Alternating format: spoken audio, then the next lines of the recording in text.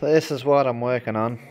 This is the one where I'm one part short of completing it to make it run. Is that the new one or is that the old one? Well, that's not the new one. That's what I thought I had that would fit. That's the impulse line that came out of it. It's as stiff as a board and it's cracked and whatever. So it's got some generic um, of this in there. Where's the old one? I know I had it here somewhere. Every time I go up the big shed I come back with more parts. Oh, here it is. This is the one that came out of it. Now I do believe the reason it wouldn't run... Ah, you can't see it. Where is it? Oh yeah, right at the base here. All those splits, well, it'd run and stop.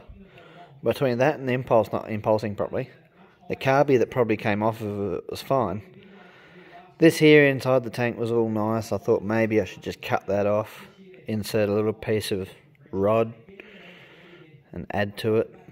You know, like I, I could actually use this one. This is for 250, MS 250. I had come out and did a whole heap of other stuff for it. And the customer wanted it back before this actually turned up. And then I said, well, as soon as it turns up, bring it back and or I'll come pick it up and I'll put it in. And they're like, oh, no, don't worry about it. I'm like, it's your money. So now I've got some spares that don't fit anything. So I changed, had a, a rim on it, a 325 rim, but I've got plenty of these spur drives and yeah the rim that was on there was knackered.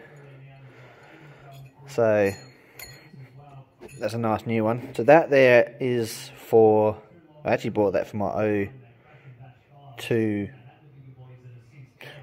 actually I, I bought it from 012 um,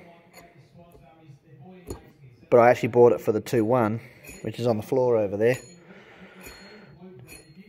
I didn't know 100% whether it would fit this chainsaw, being a 2-3, but, you know, consequently I pulled it apart, and being the same generation, yeah, it all fits. I'm missing the adjuster for the keyless, toolless adjuster part for the for the wheel, the metal sprocket that's in here that's attached to the bar. So I'm going to get an MS250 side adjuster and put in there probably going to get four or five of them because I got this one, this one to do. I got the 021 to do, and the 170 I can put the same adjuster in. So I might just get on eBay and get some cheap knockoffs. And I hope this oil drive and everything works. The, the worm drive and everything I've looked at and is all in good nick. Turns the pump. I just hope that so I don't need to buy any hoses for that and do that next because I've just had it half apart and the thing was covered in oil internally. I blew most of it out the air compressor. Oh, the primer bulb split, but the thing is, my 2-1 doesn't have a primer bulb. And the carby that they've put on here to replace the one that they thought was dodgy, which was just a, a dodgy fuel line, doesn't have where it pulls the fuel through or into the uh, float chamber. So, yeah, it's not needed. so that's just there to keep the, like I just put screw in there just to keep the bloody crap out the tank and I could take it right out, but we'll just leave it there for now. And that's your one-way breather, which is a bit restricted, but I suppose it'll work. Um, there are nicer breathers you can buy, but yeah. So I'm hoping to get this going at some point. I have sort of had it running. Oh, sort of. the engine actually sounds alright. And looking in all the ports, when I had, like, looking through the back here and and looking at the top of the piston, there's no holes and whatever, obviously, because I've had it sort of running and the piston on this side looks clean, like it's not scored or anything. So yeah, wonder whether those dogs would fit my 170. You can buy them off of eBay anyway. But i got to go past the Stihl shop next couple of days, so I might just see what they got in stock. Or what they got on a broken saw. chain brake all works. So I paid $30 for this thing. And yeah, I think I'll get it running. I'm quietly optimistic. Although, I might pull all this back apart, do a how-to video, and give it a clean up. You hear that knocking sound? That's the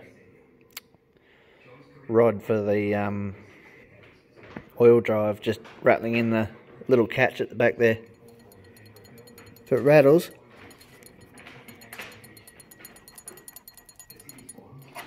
like that, you generally got it in there. I line them up anyway. So yeah, it'll be a good little saw I think once it's done. I might actually splurge if I've got enough money by the time uh, I do get it running. Um, sometimes, like anyone else, I'm broke, and sometimes I got a few hundred dollars to spare. I might put a 20 inch bar on this one. I think. We'll see. Anyhow, the cat's getting into something it shouldn't be, so I'm going to go and see what it's chewing at.